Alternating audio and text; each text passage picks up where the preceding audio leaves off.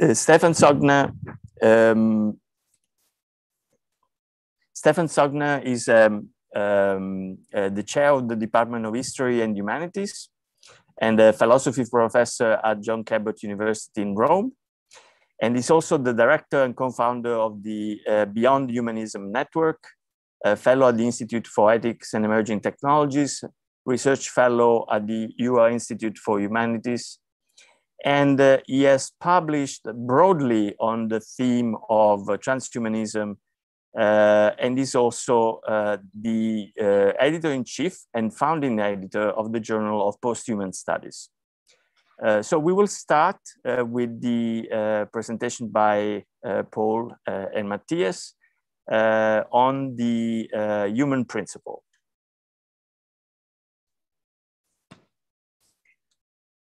Thank you very much, Francesco. And uh, I'm very happy to be here today on this lovely terrace of John Cabot's University in Rome. And uh, Matthias and me, we're all uh, student friends. We have been chatting and talking and discussing these issues for 30 years. And so this book is really a work of friendship. Um, and um, it poses the question of power.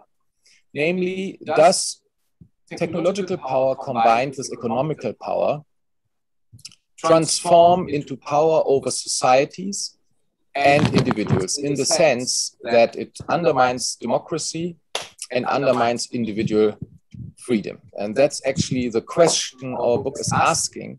And I think the conviction which we share is that certainly in this technological heap now uh, with us already and even more before us, there's a risk of this happening. Um, and uh, the book therefore starts with a very detailed analysis of the economical power and technological power. In fact, we identify the eight sources of power of the big uh, corporations, which are both at number one to five of the American Stock Exchange, but which are also the companies which are in the driving seat of composing AI elements into functioning systems. Of course, AI, artificial intelligence, is being researched all over the world today. But the ability to uh, put all elements of AI together into functioning system really resides with these five uh, major companies, which in abbreviation we call GAFAM, namely Google, Apple, Facebook, Amazon, and Microsoft. So these companies, as a first source of power, are the richest and most capitalized companies in the world. In fact, um, I just saw uh, yesterday that uh, since we delivered the manuscript of the book, the value of these companies doubled. The joint capitalization value of these companies is now the combined value of the German and Japanese economy, just these five companies. So that's the first source of power. And we have to be conscious in this age that we're not only talking about technology, we're talking about a combination of economic power and technology. So money is real power in terms of uh, influence in democratic process. And uh, both in America and in Europe, this is well known probably in America even more than in Europe. So that's the first source of power of these companies. The second source of power of these companies is that they control the networks of public opinion building. We know from empirics, both in the United States, in Europe, that an increasing number of people, probably by now 50% of our population, build their opinions in the electronic public sphere, as Frank Pasquale called um, these networks, in particular the platforms of uh, social networks, um, and also simply by Google search, for example. And controlling these networks and being those who decide who sees what, because these companies, they design the algorithms which deliver content to us, and therefore they decide what we get to see, is a huge position of power, a gatekeeper power in democracy. And another source of power uh, for these companies, which we look at very closely, is the collection of personal data. Personal data is data which identifies individuals or makes it possible to identify individuals. And depending on the company, they profile any individual which is uh, moving on the internet and actually also off the internet. I can explain in a moment how that works with between 200 and 2000 parameters. Thus, uh, these companies know much more about us as individuals than our family members, friends, and often I would say even ourselves. And this gives them enormous power of targeting messages, micro targeting, being very precise, telling us exactly uh, what uh, they think we should be hearing. And um, as I said, um, this is not only done today by collecting data from the internet, but increasingly also one has to be conscious of this. It's also offline collection. You know, for example, when you move with your mobile phone in a department store, if you have Wi-Fi on or Bluetooth on, um, there will be most likely a transmission of where you just stop and what you're just now looking at. Or credit card data is bought uh, by these companies to combine credit card information from your transactions, also offline transactions, if you go to a store and just pay with your credit card, um, and the information they collect on you on the internet. So that is um, the third um, source of power. And um, if we then um, go on uh, and ask ourselves, how is money uh, operationalized um, in terms of gaining even more power, there is the process of lobbying.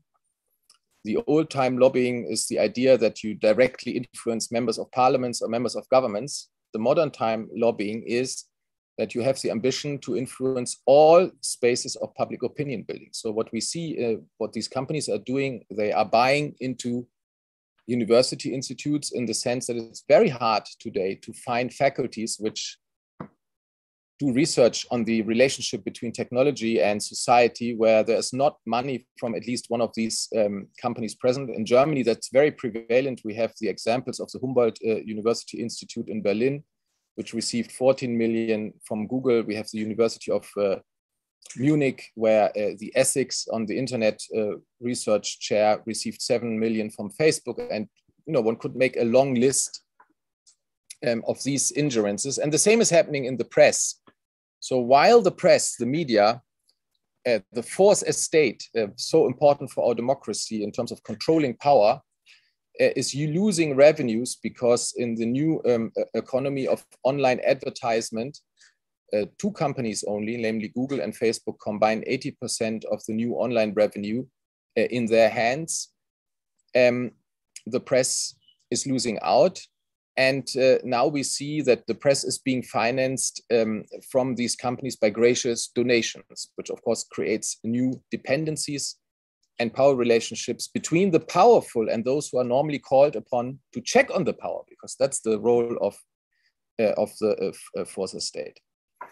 And um, the uh, research power, of course, uh, all this money, the ability to work with each of them around a budget of 10 billion euros a year with thousands of researchers to develop AI to be front runners uh, on this technology must be mentioned and also must be mentioned and Matthias, um, who is the philosopher of us uh, too, I'm uh, the lawyer and policy maker.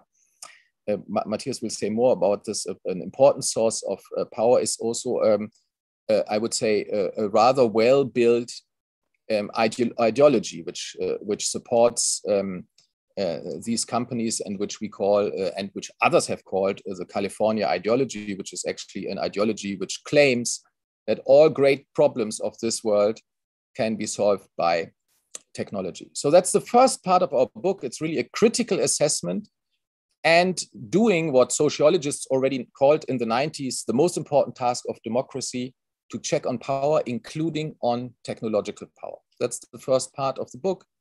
And the book has a V form, first going down. It's very negative you know we have to criticize. And i think that's very important in social science. We often now today talk about trust in technology but at least matthias and me we happen to believe that critical assessment of power remains key in free societies and we must have a critical uh, attitude towards power whether it's public power or private power. So that's what we start with in the book and then when we are at the bottom uh, and you know have criticized a lot uh, then things turn around and we develop a positive vision starting out with the history of uh, democracy and what it can mean uh, today and in the future. That's a big part of uh, philosophy also. And at the end of the book i would just like to mention we return to practical politics and ask the question what can we do? And um, the answer there is complex. It's not just one golden bullet, which um, you know we may find here and there, and which may solve all problems of this world related to GAFAM and uh, their power over democracy or, or, or individuals. Uh, many things have to be done in the political process. One thing is clear: what we are pleading for is to re-establish the primacy of democracy and law um, over technology and business models.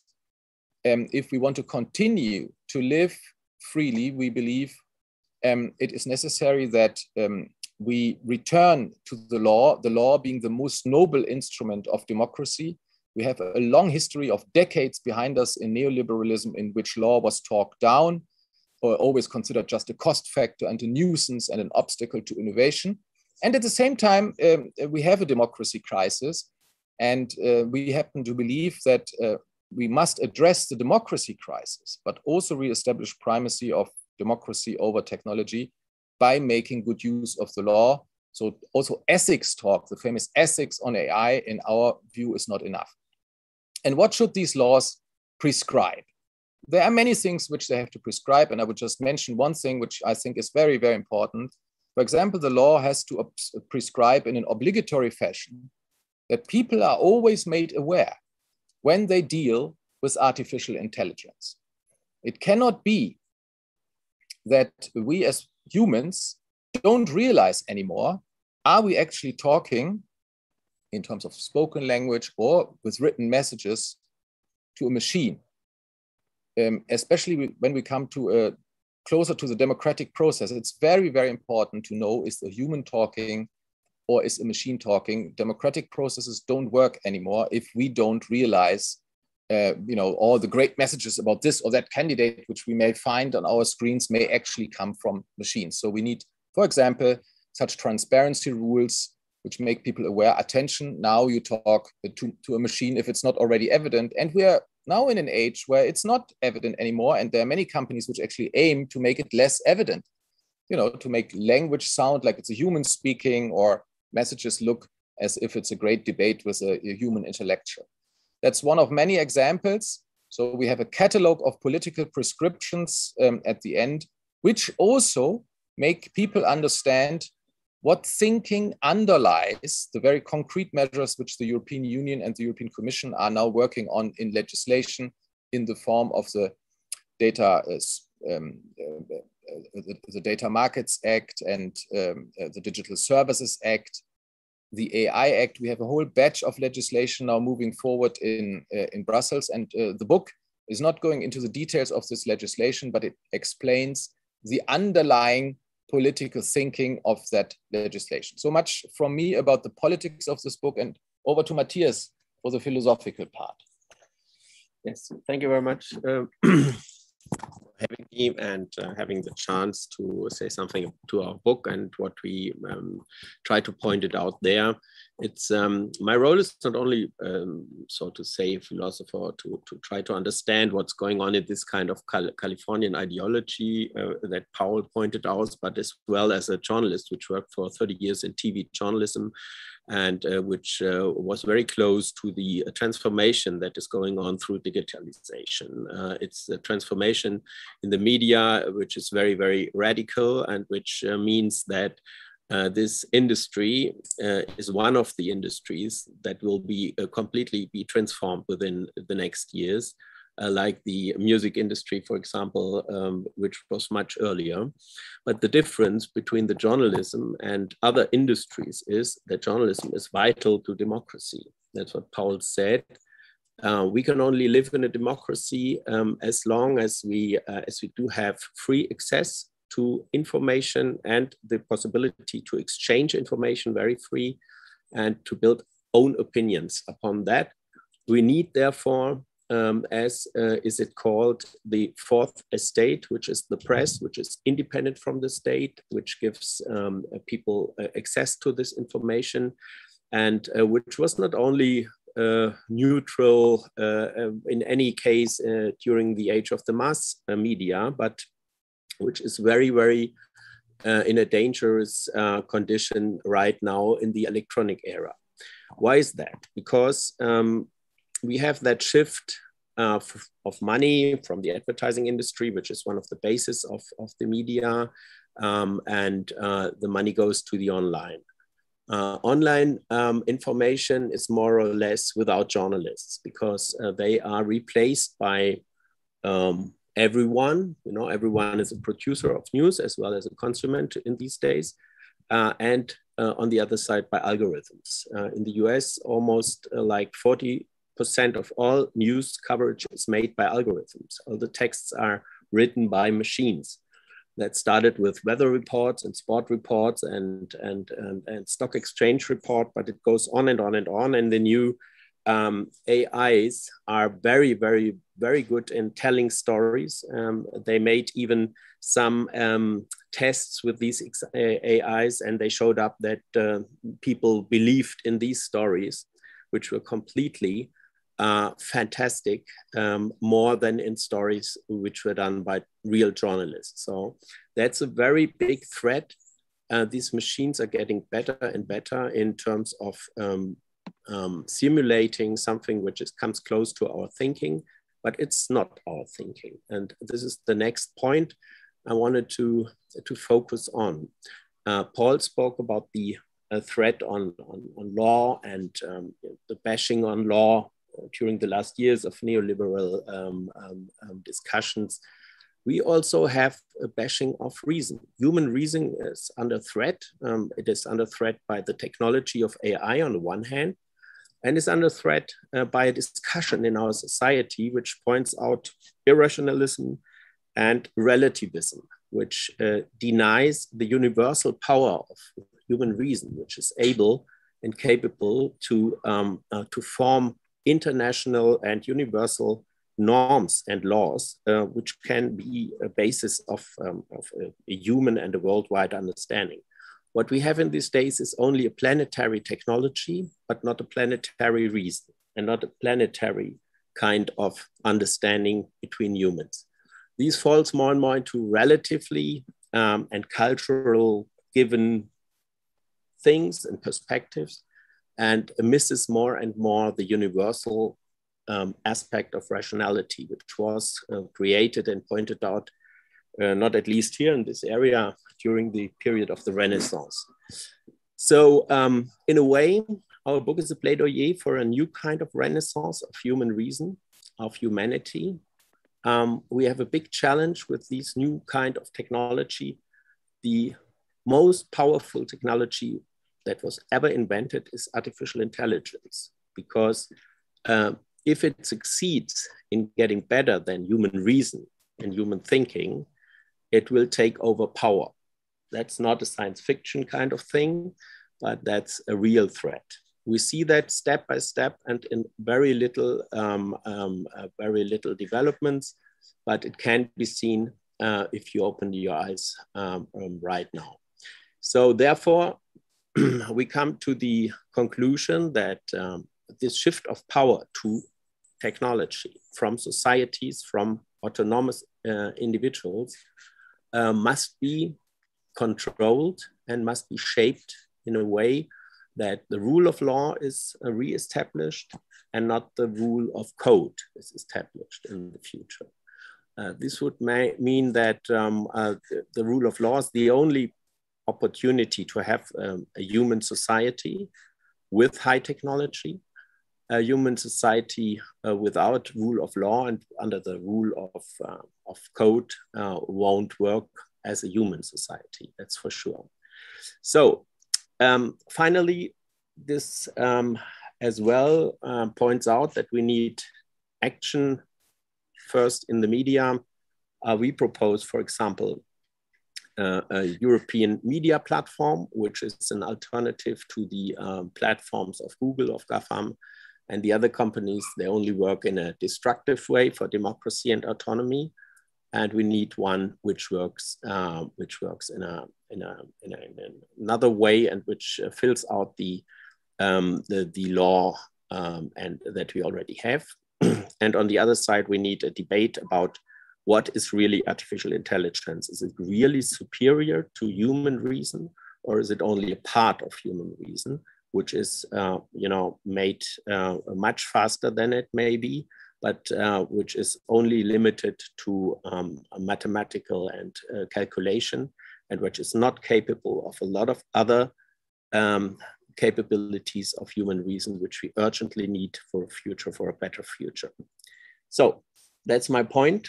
Thank you very much, and um, hope uh, I took some uh, of the interesting points of this very, very big book. So it's over 450 pages. it was hard work. It's not possible to uh, all refer it in 20 minutes. so thank you very much, uh, Paul and Matthias. So up next is uh, Stefan, Professor Stefan Sorgner. And um, I'll give you the floor. Many thanks. For the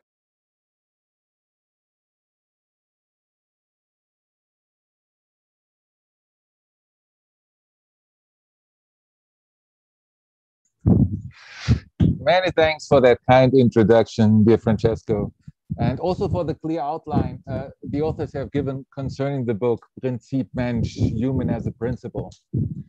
Um, I do share, and my book, my forthcoming book, We've Always Been Cyborgs, does share sort of the concern for liberalism, for the achievements of the Enlightenment. And so we've got many, many goals actually in common and central concerns in common. However, the solution the authors present, from my perspective, they undermine actually these achievements. They actually lead to an erosion of liberal democracy. So I've got I've got severe concerns concerning the solution which is being presented, and uh, furthermore, um, this is also I think it is connected to the anthropology, to the understanding of who human beings are, which is which is part of the book Principle Human Being, because it is quasi antagonistic. It's to the to the outline I'm presenting in the book. We've we've always been cyborgs. Sort of, it's because the understanding it starts, and, and Matthias has made that extremely explicit um, when he stressed sort of it's the reason human as uh, uh, anima rationalis as a, as a rational animal, which goes back and, and has determined the entire Western tradition since at least Plato, but then made particularly strong in the Renaissance, where they referred to human dignity later on to Kant, and which is still an understanding which is widely being shared all over the world, which is part of the foundational laws of the law, foundational laws and constitutions in most countries all over the world. But is actually this this understanding of human beings is, is, is the most critical problem and has led to many of the problematic discriminatory structures with which we are currently uh, concerned.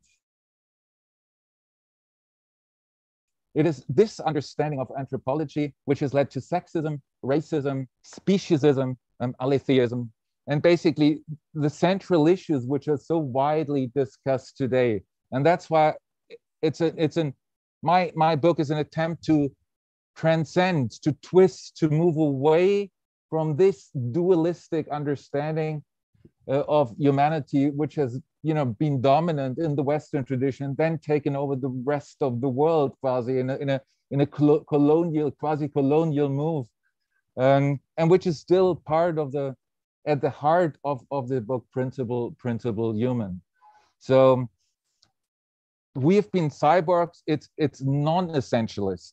It proposes a non-essentialist understanding of human beings. It proposes a non-dualist understanding of human beings. And it also um, proposes a non-anthropocentric understanding of human beings. And all of these other uh, notions can actually be found implicit in the, in the concept principle human being. You're human as a principle. It's anthropocentric, essentialist, and dualistic. And as a consequence of these structures, these very discriminatory structures have came about. They're not directly necessarily connected to it, but they've been historically developed together with it. Sort of the understanding of the male as the rational, the woman as the emotional, the rational is the good. That's a, you know, um, the one in power. Um, with Plato, we enter the light, the colorful, uh, the, the, the whiteness as what is desired, darkness as people of color as being, you know, rejected, of lower value. It's been um, the sexism is, which is implicit. So it's rational, uh, rationality connected to maleness, emotionality of female. So it's implicit sexism, racism, anthropocentrism, which is connected. The anthropos, only humans possess rationality. So that's why I, I regard these anthropologies as extremely problematic concerning the connotations which have been developed. And it's it's the attempt of the book. Uh, we've we've always been cyborgs to present an alternative anthropology. Firstly, to oh, to twist, to move away from the connected discriminatory structures which have been connected to the traditional anthropology. And in that way, to develop a new ethics, it's the liberal ethics um, of fictive autonomy, which I'm developing, I've been developing in this forthcoming new book. And I will apply these findings or apply this new anthropology, in particular to two of the most promising, the most powerful technologies with which we are concerned, namely, um, well, digital technologies and gene technologies. And sort of what would be the implications on the basis of um, on the basis of, of this anthropology concerning these various uh, uh, concerning these various technologies and which approach we should take. And sort of in order to focus on and now to basically move back to the first point as a, as a response concerning uh, the meaning of digital data and the, and the suggestions for revision, um, which have just been presented. I, I, I, will, I, wish to highlight, and I do highlight in the book, um, in how far these suggestions are implausible, or actually they undermine the interests of Europe they undermine, they might even undermine the structures of a liberal democracy.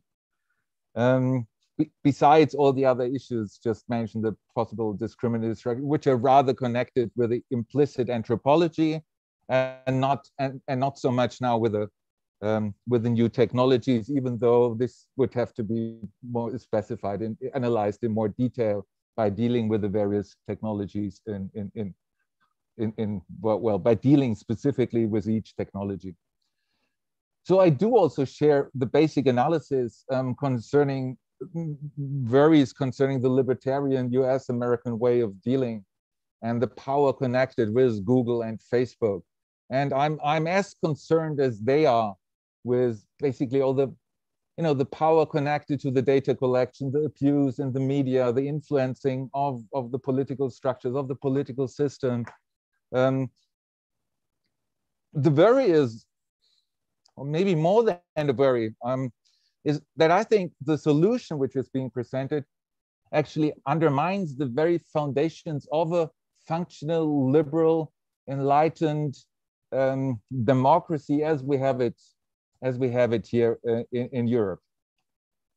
In the book, I firstly deal when we talk about digital technologies, I firstly deal with such issues as artificial intelligence, artificial general intelligence, the very, which was also mentioned before, like AI taking over, um, overpowering humans, putting humans in, into the zoo at the end, maybe AI being so strong.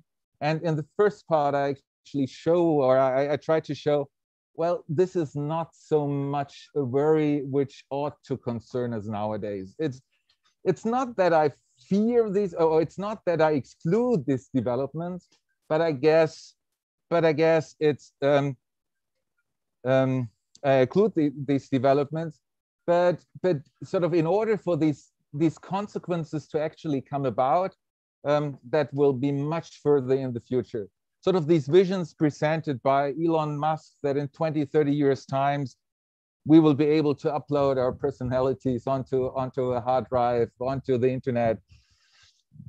We don't, this is like the discussion we've had in the Middle Ages, um, where they discussed basically how many, how many angels fit on the tip of a needle. Um, it's, it's, it's sort of this, it's comparable because um, on the background of the medieval structures, it made sense to discuss the size of angels because everyone shared sort of the Christian background. Nowadays, every, everyone shares, everyone shares sort of that technological understanding, us turning into being quasi computers, we can upgrade ourselves and, and, and, and um, create, create digital clones of ourselves. That's sort of widely shared up in the air. That's why sort of this idea resonates so strongly with, with many people.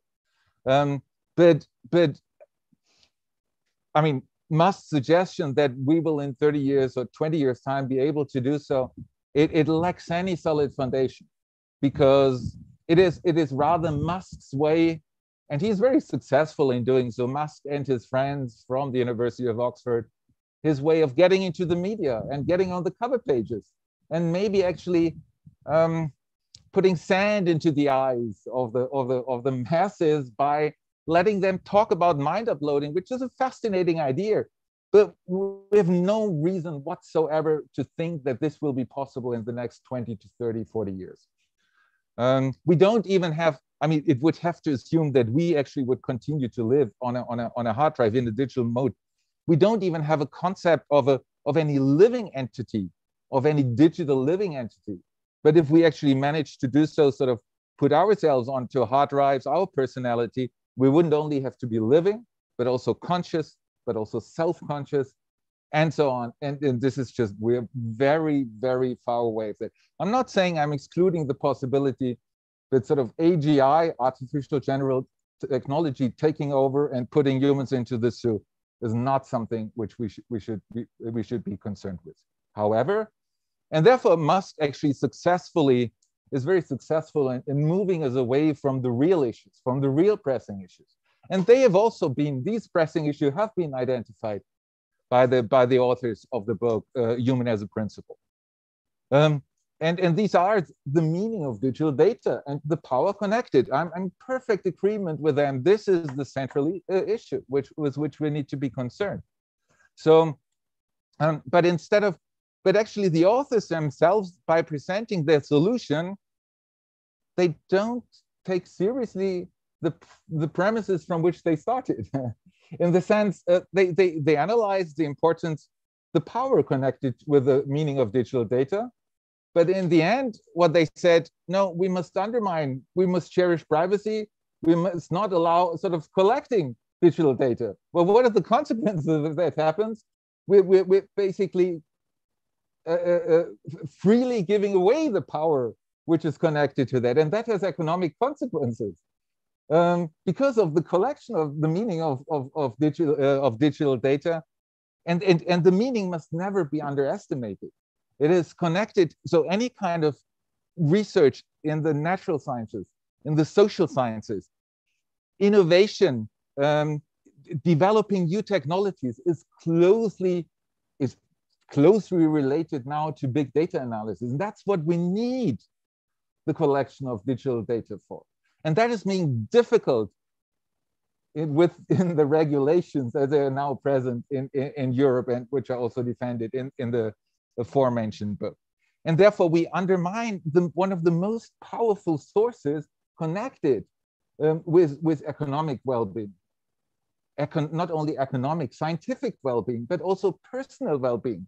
Why personal well-being? Because health needs to be financed.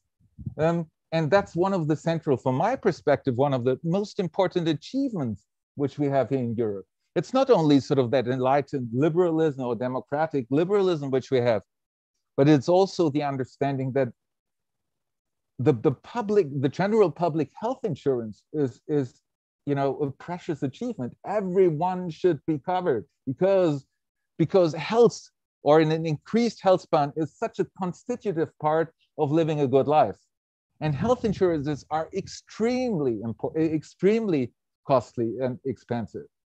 Um, and so all of these issues now by us giving away or not allowing or making it difficult to collect the digital data, um, it basically undermines our interest and the power connected to the digital data. And the, the formist analysis acknowledges sort of, sort of the widely shared statement, data is the new oil. Um, again, data and oil are not identical. Oil is a natural resource. Data is intellectual property that has different implications, but both are connected to power, to economic, to money, to, you know. And so, um, and if we acknowledge this, then this has consequences for Europe. And we make it difficult to let these data collect and use it for various purposes. And I agree with them actually in the sense, given the, uh, the current arrangement of, of digitalization of technology, I'm personally terribly scared of giving, giving up my privacy. Um, I'm, I'm, I, I'm aware sort of the sanctions connected to it, both on a legal level, on an institutional level, on a personal level, enormous. The risk of abuse is, is absolutely terrifying. And that's why I, I do share the strong concerns for privacy. But for practical purposes, I, I don't, so my, my, my, my counter suggestion um, in the sense of taking these issues serious, and we need to find a way of collecting the data in order to, to, to uphold the well-being, also to paying sort of the, the, the public health insurance by means of the, the, the, the money we generate by having collected the data um, is, is so important that it mustn't be, mustn't be given up. Um, so um, please interrupt me if I'm talking because I could. um, I could continue just like um, this. So, um, and and the solution is basically um, sort of the counter suggestion is actually by by um, recognizing um, the importance of um, uh, data collection and also the importance sort of in the global sector, us being part of a global war concerning digital data. That's what all the countries are trying to work on. And most efficient are, is, is China in that respect, because they not only, I mean, they've not only created the Chinese wall, they've also created the Chinese firewall. So only the Chinese companies and the China, with the Chinese companies, also the Chinese government have the right to collect the, the, the, the data within China and they can legally enforce it and therefore collect enormous amounts of data. But in addition to that, you know, they've got TikTok and WeChat or whatever, and they can collect data in the rest of the world. YouTube and, and, and, and Facebook cannot collect the data within China. So the internet is not even no longer a global entity. So here the, the power connected to the data was acknowledged. And now we see China as a global player who has, can legally enforce the data collection with all the corresponding and correlating power, economic well-being, um, which, which goes along with it. And I mean, so far concerning peer-reviewed publications, China has already overtaken um, the United States concerning the quantity, and that shows something. That shows the development. I don't see how China in the global competition for, for digital data can be stopped actually in the, in the forthcoming years. However, if, if we take seriously the importance of digital data, what the consequences will be for Europe will be clear. Um, the consequence, you know, the only thing we, we will be of no relevance whatsoever concerning innovation, you know, technological innovation, scientific innovation, studies in natural sciences, economic sciences, social sciences. Um, the only reason why people, why Americans and, and, and, and Eastern Asia or Chinese uh, will come to Europe will be, well, you know, we've got the Colosseum, we've got pizza, we've got pasta, we've got the Louvre, you know, touristic events, but everything connected to finances, scientific innovations, technological innovations will be, you know, no relevance whatsoever. Of course, I'm, I'm overstating things, but I think that maybe not even so much. Um, so this is my, my, my deep rooted very connected, um, or a couple of my deeply rooted worries connected to the suggestions presented in the book, um, Human as a Principle. Thank you. So there's a there's a lot. Let me all. I want to put all of you on spotlight. Um, all right. Um, so as I suspected, there's a, there's a lot to discuss. So let's do let's do an exercise, right? Um, describe the world 10 years from now, best case scenario, worst case scenario. AI is being developed by whom, how. So describe the best best case scenario for what the world should look like in 10 years from now and what is the worst case scenario because uh, to me it seems that there's um, uh, overlaps in uh, actually more than uh, than I thought there would be. Uh, but there's also there's a there's a sense of optimism and there's a sense of a perception of risk. Uh, but in reality, I can't really pinpoint what the optimism that you have might lead to, and what the pessimism or the control that you are describing might lead to. Uh, what you have in common uh, is certainly this idea of humanity and the role of humanity. Uh, you've been talking about the human renaissance and the function of uh, uh, humanity in general. Uh, you pointed out what is a, a, contemporary discussion about the position of humans in a more complex ecosystem, right? So you've been talking about anthropocentrism, and which I find really interesting uh, because uh, you use the, the dichotomy of anthropocentrism versus uh, multi-pluralism or what you might call, someone calls it deep ecology, the, the, the concept of uh, all life being equally entitled to being uh, alive. Uh, but the reality is that to me, I see AI as the ultimate form of anthropocentrism it's designed by humans. Uh, there's no other contribution from any other species. So I see it as a, the ultimate anthropocentric mechanistic, uh, statement. So let's do this exercise because, uh, so what, what is a good world going to look like in 10 years from now? And uh, what is a bad world? Because uh, if we have to develop artificial intelligence, in the end, it should be because we need it, right? I mean, we shouldn't develop just because we can we have to develop it because it has to solve problems. If the only thing it solves is moving money from one pocket to another, I don't think that's a very good distribution of power. That's not a very good aim. So I think that it's about vision, and people should be able to give bodies to their vision and their fears so that people can uh, understand these visions and can understand these fears. So I'd like to know what's your vision for AI in 10 years and what's your fear for 10, yeah, in, uh, in, uh, in 10 years. What are the key players, what is going to happen. So uh, we'll, uh, we'll, we'll just follow the, the, the, the, the, the same uh, uh, kind of um, order we did uh, before.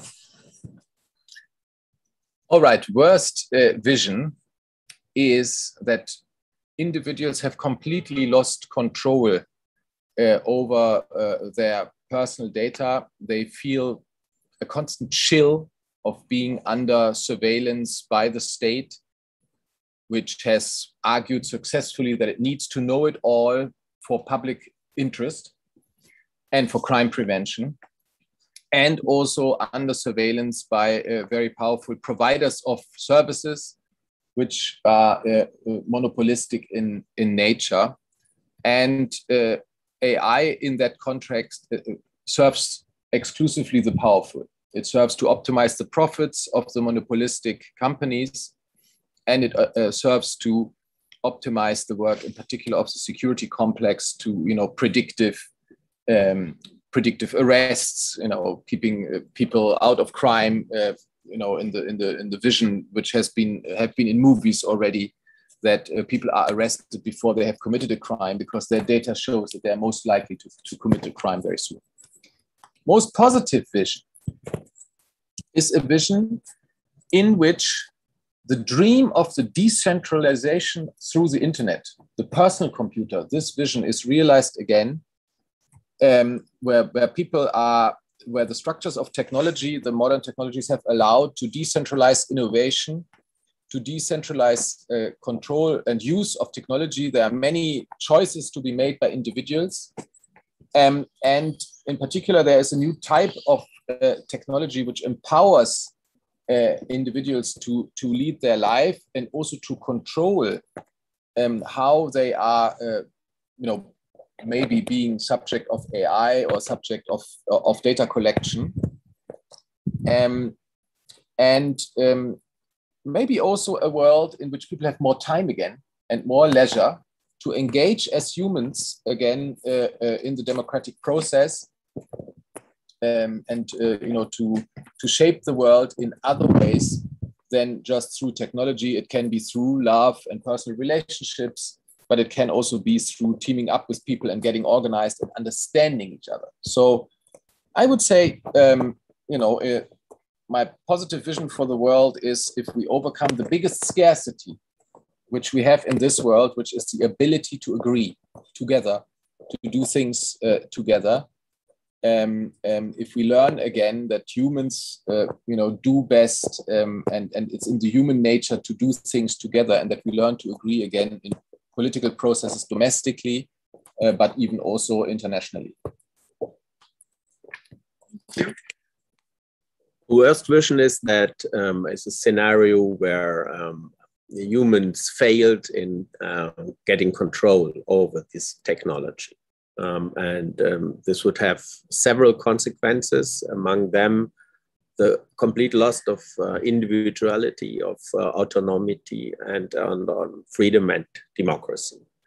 Um, second, it would mean that it's not possible without humans controlling the technique uh, instead of um, being controlled by, by technology, uh, that we solve the biggest problem that we have actually with the climate change and with uh, covering uh, all these questions that are connected to this, which means that we should um, that we that we have to act um, for the life on the planet. Uh, we can only do that if we, and this is the best case, um, uh, if we keep control over that technology and if we solve the control problem. Control problem is, a, is a, the, these are two problems. The first one is the um, is the technological control problem. It's discussed in the AI um, uh, discourse as the control problem. Nick Bostrom pointed that out, for example. And it means that it's not sure that the self improvement of these machines can be stopped and can be led by us anymore within the next 10 or 15 or 20 years. If that happens, we have really big problem because look at what kind of processes are already completely steered and controlled by AI systems like the financial system, like our whole ecosystem with water supply, with, with electricity and stuff like that. So we need to uh, solve the control problem technologically but on the other hand, we need to solve it politically. Uh, and that means that technology is not in power, but democracy and law is still in power. And um, looking back to 10,000 years of civilization, we have one experience with power that power always leads to abuse. And the best system to control power turned out to be democracy since yet. I mean, it's like Churchill pointed it out. It's it's well, it's bad, but it's the it's it's it's the uh, the the the, um, uh, the, the the thing that is among all the bad solutions. It's the at least bad. So, and we have to uh, to see that the control of power uh, is uh, based on the control by reasonable people and autonomous people in person. And that's uh, our controversy here. I mean, um, reason is the most noble ability of humans, of mankind. It brought us where we are actually. I mean, all this technology, all the, the good um, things on earth are made by reason and by reasonable people. And in the situation where we where we where we develop a technology which claims um, uh, to to take over this reason by a so-called artificial intelligence, um, we must see that that's a threat to our not only picture of ourselves, but um, um, but but um, to our kind of um, of um, setting the rules for our own life and not delivering it to a technology.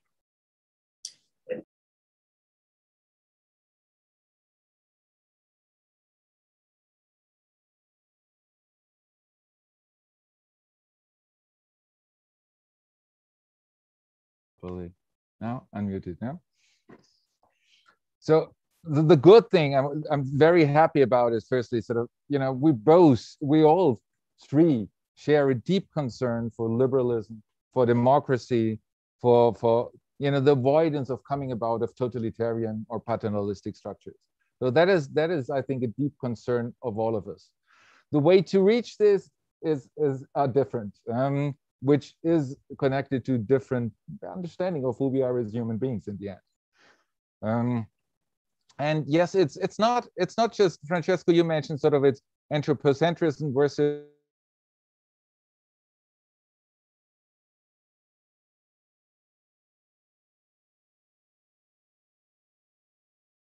outlook. It's it's an in between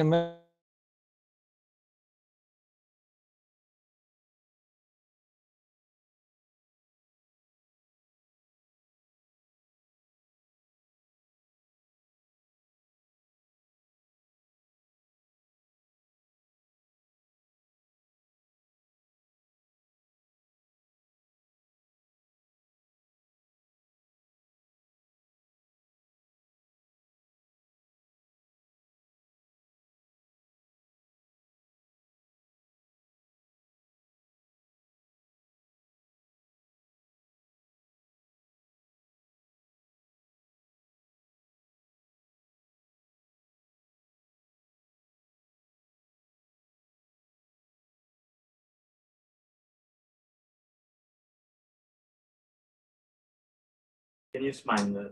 No, it's back. I'm back. I don't know when I was interrupted. So uh, the understanding of Nice. So one one second. There's a audio. Can you hear me? Now I can see you. Now you can hear me again. Good. So it was some some sort of interruption. I don't know when it started. Um, anyway, um, so the understanding. I don't share. Um, I don't see AI as, as, as a type of hyperhumanism necessarily connected to it. Um, and that is actually connected to the underlying thought um, we have always been cyborgs, which exactly tries to stress that. It also moves, it's non dualistic thinking. It moves beyond the di dichotomy as. You, you need to explain why. Yeah, that's, that's, that's what I'm doing. Um, um, it moves beyond the dichotomy of technology being a function or a means to reach something, and the understanding of technology always being a part and changing who we are. I think it's both. It always has to be both. Um, and that also applies to artificial intelligence. And that is connected to this underlying revised, different understanding of who we are as human beings. We've always been cyborgs. Cyborgs literally means Kubernetes, organisms, um, Kubernetes, ancient Greek, comes from the steersman, the helmsman of a ship. Uh, organisms, so we are steered organisms. We've always been steered organisms. What does it mean? Where does our rationality come from? Whereas in, in the alternative suggestion, in the dominant suggestion in the Western cultural tradition, it's a divine spark. It's God given. It comes from outside. It's something immaterial which makes us stick out. And that's the basis of all the discriminatory structures I've, I've originally mentioned, from sexism, racism to heteronormativity, and so on. Um, at least it developed these connotations as part of the cultural development. And the counter counter suggestions that as us as cyborgs, our reason. Reason is our capacity to talk, to communicate, to make inferences. Where do we get that from? We don't get that from God, from the divine spark from outside, but we get that from our parents, from our cultural surroundings. Up learning a language as part of a culture, as parents teaching us, is part of an enhancement process. Education is enhancement. We get upgraded toward with reason, but it's not the same reason in all of us. We all got our individual idiosyncratic reasons as part of the edu educational process. And that is sort of the evolutionary alternative. And but that's that's a fundamental different understanding. I, and it's really rooted at the heart of the understanding which um, which understanding of human beings do we have? and yeah, um, that has a lot of further implications. But coming to the questions concerning um, the outlook, best and, and worst one, I'm not making predictions concerning. I'm not. I'm not envisioning a future. But what I can do is sort of based on the current situations, um, what what what are the most worrisome developments and the best possible developments given the current current situation because I don't I'm not I'm never making predictions of the future because they are always false. Um, it is it, that couldn't be done on a scientific basis basically. Um, the best uh, the most worrisome outcome would be sorry one second. Did you lose the connection? No okay, yeah.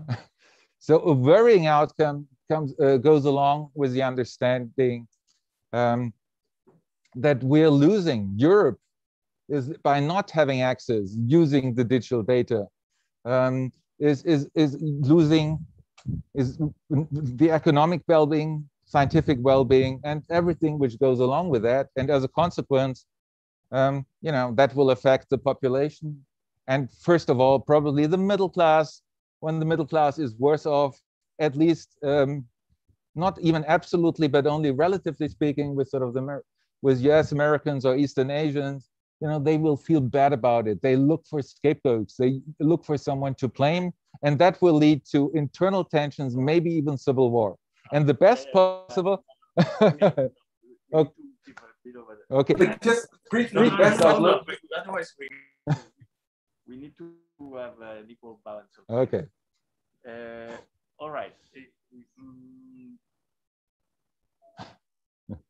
On the microphone myself. Uh, can you turn off your mic? Okay. Because otherwise we're going to echo.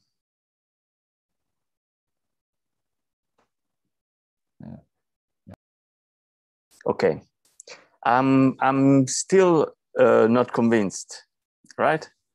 Uh, from neither of your views, right? Let me explain. So you seem to be very vocal. So when I listen to what you say, it seems to be uh, very clear to me that there's two core uh, concepts. Uh, one is, uh, uh, well, one that I profoundly share, the, the, idea that democracy is imperfect, but it's a, uh, it's a fundamental achieving for humanity. the other is that AI is a threat to that concept, to that way of living, right? Um, Stefan, you, you seem to be uh, kind of uh, to be agreeing with them, right? You, you seem to say that you value your privacy, uh, you value the fact that uh, um, there's a negative forms of control. So you seem to share the same uh, negative scenarios. Uh, I, but I don't quite see where the positive scenarios of both of you are going to go. I mean, I basically, in, in, a, in your future world, in 10 years from now, uh, what is the positive contribution of uh, uh, any development to artificial intelligence uh, to your own conception of humanity? And is, there, any that you seem to articulate that it contributes to maintaining democracy and doing what else? I mean, let's say that we maintain democracy, right? We design a system where we we uh, we keep control of the machine. Basically, it seems to be the core concept you you are pushing forward. Is uh, uh, we need to be in control of the genie, uh, basically, know. Uh, but I, I'm really struggling to understand what what what is it that you want this genie to do because you talk about universal health care and and and and everything uh, connected to it as a, a, fundamental thing to achieve for example right um, and you seem to be talking about the concept of uh, let's say uh, being a better human huh? okay so i'll give me give me practical examples of, uh, of what you mean by these uh, positive scenarios help me help me understand better what is it that we want to achieve. And you have been already talking, so we'll go back to Matthias. Yeah. Yes, that means bring out One the best. Second. Yeah. I have to mute myself, otherwise we're going to. It's, it's exactly what you said, Francesco. It, it means bring out the best in humans instead of turning them into cyborgs.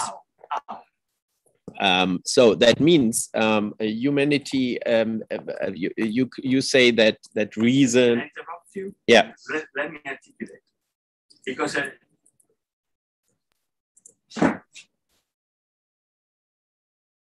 if the concept is to create an alternative to a human, right? Then we don't need that. We already have a way to generate other humans, right? If we want to make better humans, let's create better communications between humans. Uh, that's uh, what Paul was saying. We the, the, the best, yeah. So uh, that's a, better human, right? Yeah. So how does how does AI contribute to this better human that you're defining? Because, for example, I totally agree. So one of the beauty of democracy, you know what it is, is that we can argue without killing each other, because basically we agree to disagree, and to have uh, the the force of our argument needs to be based on the ability to convince others, right? I mean, this is a democratic concept. Well, some people can argue, well, I have the right opinion. I'm going to use artificial intelligence to convince as many people of my opinion. right? I would like to say that at least I don't see myself in the business of marketing AI technology.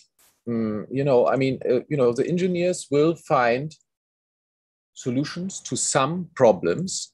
And if they're able to convince people that these solutions are good, then this technology will play its role like any other technology.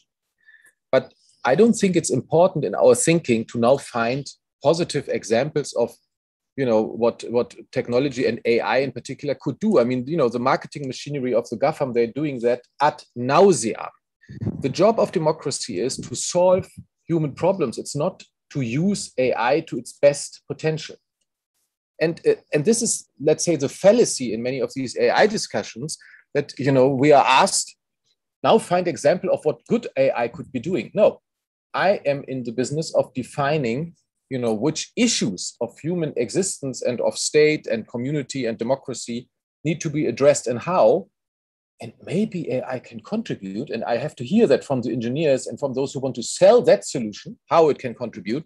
But maybe there are also other solutions. I mean, you know, we had the discussions in COVID, you know, what brought the solutions and the progress on COVID? It was a mixture between rules, the ability to agree on the rule that we must have distance between us, that we vaccinate each uh, uh, uh, ourselves, and that we wear masks when we're inside rooms was probably more important than any of the technological elements. Yeah, so it's a classic example of you know avoiding to run on the wrong track because at the beginning you know there were many people said oh you know digital and the app will solve it all. It didn't.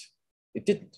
So you know i must say i refuse to fall into a debate of technical solutionism in which I'm on the block to now identify where I, AI can do this or that. No, let the producers